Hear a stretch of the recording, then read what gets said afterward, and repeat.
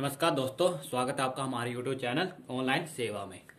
दोस्तों, आज का टोटका बड़ा ही सरल टोटका है, जिसको करते ही आप किसी भी इंसान को बस में कर सकेंगे। ठीक है दोस्तों सिंपल सा टोटका आज आपके लिए लेकर आए हैं।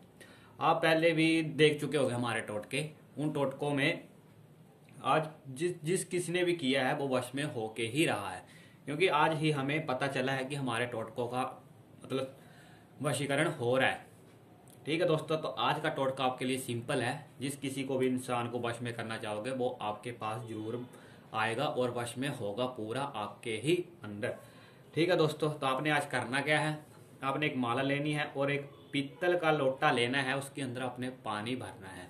ठीक है दोस्तों, और साथ में आपने एक मंत्र का जाप करना है। सिर्फ़ एक या दो बार उस मंत्र का जाप करना है। करना कैसे है आपने?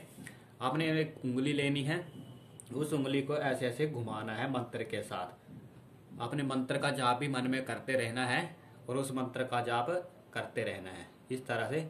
और आपने उस पानी को बाद में खुद पी लेना है।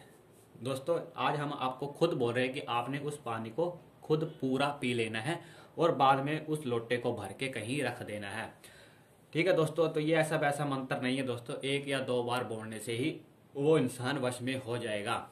ठीक है दोस्तों तो आपका ये था आज छोटा सा टोटका, बहुत ही सरल टोटका है। लेकिन जो भी असर करेगा, आज वो मंत्र असर करेगा। तो ये था हमारा छोटा सा टोटका। ऐसे ही टोटकों की जानकारी चाहते हो इस टोटके की जानकारी पता नहीं चली हो तो नीचे दिए गए नंबर पर अभी संपर्क करें। धन्यवाद।